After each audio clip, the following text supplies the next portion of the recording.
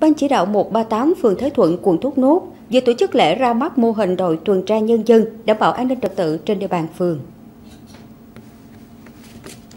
Mô hình đội tuần tra nhân dân được thành lập 29 tổ với 146 thành viên là lực lượng dân quân thường trực, cán bộ, công chức, viên chức, người dân trên địa bàn phường. Có nhiệm vụ phối hợp với công an phường, các ban ngành đoàn thể, tổ chức xã hội, tuyên truyền đường lối chính sách của đảng, pháp luật của nhà nước, thông báo về phương thức thủ đoạn hoạt động của các loại tội phạm,